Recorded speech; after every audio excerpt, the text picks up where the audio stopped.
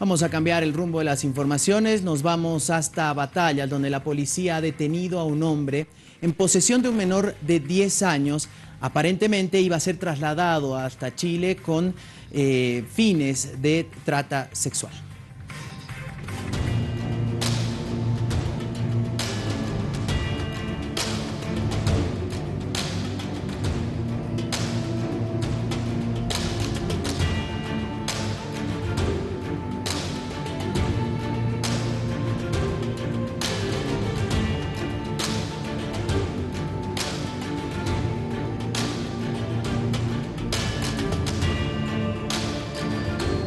Luego de las primeras indagaciones en el lugar en la localidad de Quiaquiaviri, retorna el personal para trasladarse a la zona de batallas. El trabajo de la Fuerza Anticrimen y la División Trata y Tráfico de Personas durante el fin de semana logró el rescate de un menor de 10 años, quien se encontraba con el presunto tratante de personas que habría trasladado al menor desde Cochabamba hasta La Paz con fines de explotación sexual en Chile.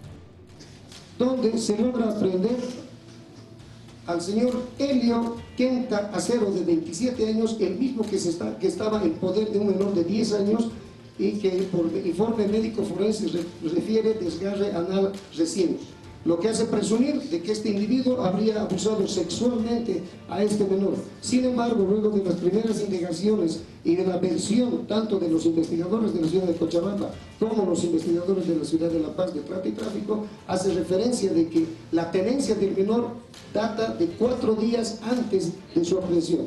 Asimismo, otro de sus cómplices, quien sería familiar del menor, fue aprendido en Cochabamba. El niño se encontraba en la localidad de Batallas, en el sector del Altiplano.